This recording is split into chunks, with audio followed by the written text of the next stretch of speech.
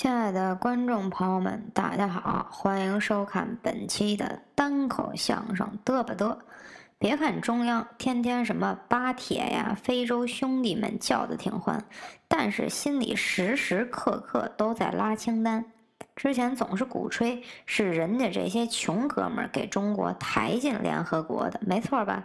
现在可好，翻身到世界第二大经济体就不认这些穷亲戚了。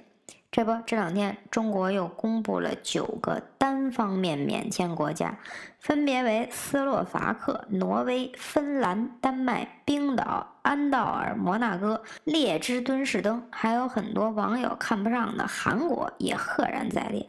朋友们，单方面免签的意思是，人家国家老铁到中国来，咱们敞开大门欢迎；但是如果你要去人家那儿，对不起了，还是得审核考察的。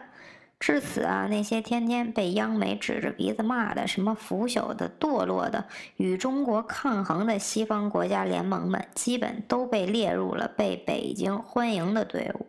那些老习嘴里朝气蓬勃的、志同道合的、新兴的、东升的、要代替旧世界秩序的友好国家们，比如金砖成员，那是一个没看到。你看看，多精明啊！这说一套做一套的是立的一手好人设，嘴上说漂亮话，说不在意家世、学历、身高、相貌，但真要选回家过日子的好坏，还是变得挺分明的。也不怪现在中央言行不一，毕竟老毛很早也发表了相关言论，骂境外势力是为了给群众造成同仇敌忾的假象。但是去境外势力还是红色权贵们毕生努力的目标，而且很多人不明白啊，说中国又不给免签，遵循着外交对等方案，中国不应该这么上杆子，多跌面啊！这你们就不知道了，什么促进贸易往来都是虚的，就算外国人能来、敢来中国旅游，也不存在那个高端服务的土壤，最多是玩命多吃两顿中国菜。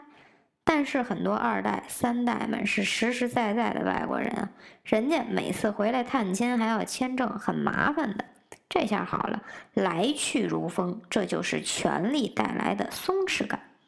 你说这帮所谓上层社会的人是真坏啊？好话说尽，坏事做绝。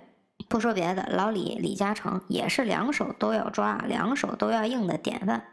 老姜在的时候，他顶红帽子当爱国资本家。老姜没了，他跑得比谁都快。这不，这两天又传出消息，他在北京误盘了小二十年的楼盘，终于开卖了，特价房也要七万多一平，就这还比旁边便宜。可问题是，老李盖这些楼的时候，通货还没膨胀，房价还没飙升，那钢筋水泥才贵了几块钱。于是乎，老李又狠狠地挣了一笔。更关键是，这家伙向来是一个地区的晴雨表，他永远能在飞龙在天的时候卖，随后整个市场就亢龙有悔的直线下跌。现在北京各部门儿都慌得一逼，领导们都生怕这房价大跌落在自己手上，把好好的养老金弄没了。这帮衙门里的小官家里或多或少都有几套房，放在北京等着贬值，一块卖了又变相挤兑了房地产，横竖是完。现在呢，这个竭泽而渔的趋势也是越来越明显，不管是资本家和政府，还是各地政府之间，也越来越图穷匕现。一说这个话题呢，又得提河南。你说河南老百姓也是倒了霉了，好好的中原文明发扬地，充满了历史和人文情怀的地儿，就因为这帮扶不上墙的领导班子是天天上热搜，还都是没影的事儿。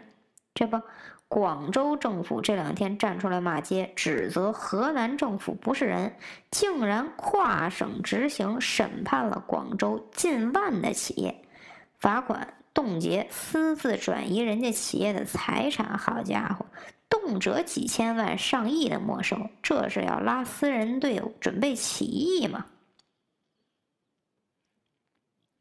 广州政府哭着给群众普及，说这种异地执法的行为，黑话呢叫远洋捕捞，看似是执法办案，实则赚取不当的经营利益，为了给本省市的财政赤字买单。把河南描绘成土匪，那河南能愿意吗？跳出来接广州老底儿，说别扯那个里格楞，我们这儿跨省打击的是谁？你心里没数吗？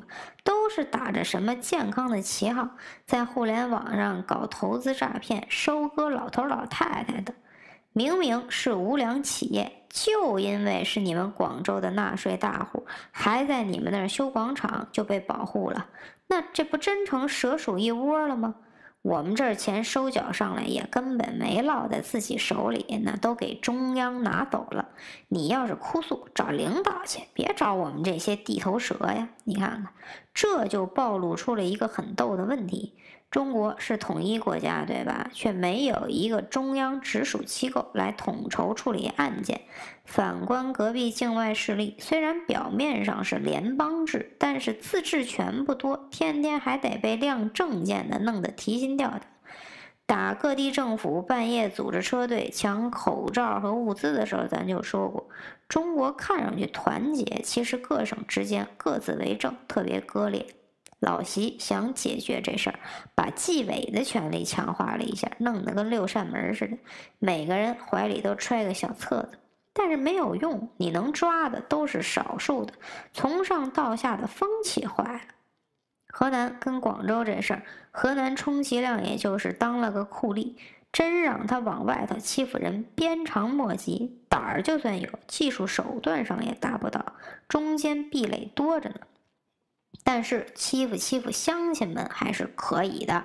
这不，一个哥们儿是河南人，打算在家乡孟庄镇投资千万建厂，年租金八十万，给的挺痛快，挺好的事儿吧，带动经济吧。结果因为过路费没给够，办不下来证件，死活就是不给办。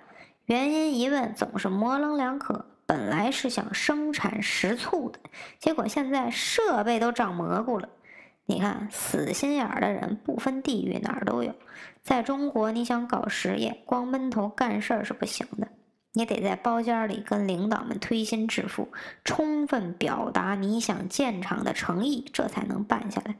不然，媒体帮了你一次，后头消防、生产安全、每年的检查也都够你喝一壶的，还不如早早的学人家二代、三代，争取润出国，换个身份。外商两个字虽然含金量不比过去，但怎么也比当本国的二等公民强啊！而且啊，能不往国内汇款就别给自己找麻烦，不然分分钟触发警报冻结账户，你就哭去吧，都不给你解开。千万别想着落叶归根，还有什么报效祖国，那都是老黄历了。现在的新中国不流行这种浪漫，三个字儿就要钱。不过你说河南有时候也挺魔幻的！明明富士康在郑州建厂，是当地税收的大头，妥妥的经济支柱，但是人家偏要发表文章问你用苹果手机吗？意图把老铁们都推到买国产的路径上，这是图什么呢？话说的挺好，防止金融网络诈骗。然而实际上是因为苹果的实时通信是点对点的，不走他们能看见的服务器终端。好家伙，防民之口胜于防川啊！这一块河南的经验还是很先进的，不愧是发生了把群众的钱转走，银行直接倒闭的地方，体验感遥遥领先。现在国内幺蛾的事儿出不断。然而中央是听之任之，根本不管。前段时间说希望各地百花齐放，解决发不出工资的问题，你看看多有创意啊！亲爱的观众朋友们，你们对河南政府明抢广州企业，广州政府出来哭诉这事儿怎么看呢？而中国单方面免签的国家都挺文明发达，为啥这回不带穷兄弟玩了呢？欢迎留言评论吵架，更别忘了加入会员频道收看更多精彩内容。喜欢本频道的朋友，别忘了点亮小铃铛关注，并分享给更多志同道合的人。感恩看，下次再见，拜了个拜。